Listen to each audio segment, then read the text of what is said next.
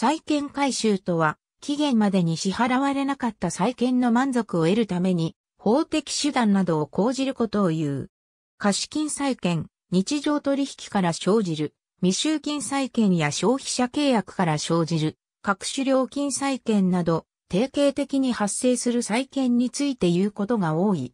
逆に、単発の不法行為や契約違反を理由とする損害賠償請求を債権回収と呼ぶことは少ない。電話による債権回収のイメージ以下のような主体が債権回収に関与することが多い。なお、事件屋や整理屋のようなものが関与してくることもあるが、適切な資格なく債権回収に関わることは違法である。支払い遅延が発生してから債権回収の手段を講じたのではコストが膨らみがちであることから、特に日常的に債権回収が必要となる業種においては、可能な限り支払い遅延を発生させず、発生したとしても、債権回収を容易とする種々の対策が講じられている。裁判外の対応支払い遅延が発生した場合、まずは任意の交渉が試みられることが多い。債権者側からは督促状が送付されたり、電話や対面での交渉が試みられたりすることが多い。逆に債務者側から積極的に債権者にコンタクトを取り、事情を説明しようとすることもある。任意の交渉で新たな支払い時期などについて合意が形成できれば、その後は新たな合意に基づいて債務が履行されることになる。事情によっては、第三者を介した解決が適している場合もあり、ADR の利用が検討されることもある。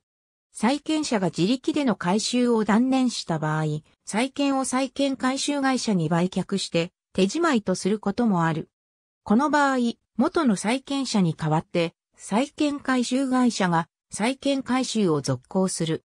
裁判上の対応任意の交渉がまとまらない場合や、債務者と連絡がつかない場合などは、債権者としては法的手続きを検討することになる。一般的な流れは以下の通りである。担保権を有している債権者は裁判所にその実行を申し立てる。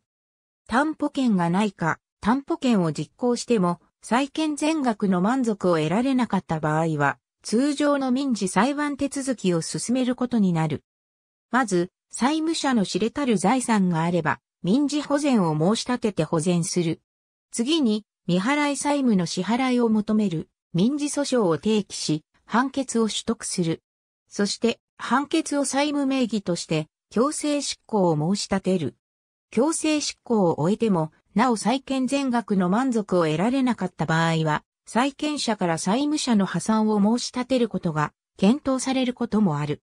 支払い遅延が生じる状況では、債務者が倒産状態にあることも少なくないため、債権回収を行う上でも倒産手続きを意識した対応が必要となる。交渉や法的手続きを進めている最中であっても、債務者側から指摘整理の申し出が行われることもあるし、債務者が自己破産をする可能性もある。債務者が破産した場合、直前に一部の債権の回収に成功していたとしても、破産管財人から否認権を行使される可能性がある。ウィキメディアコモンズには、債権回収に関するメディアがあります。ありがとうございます。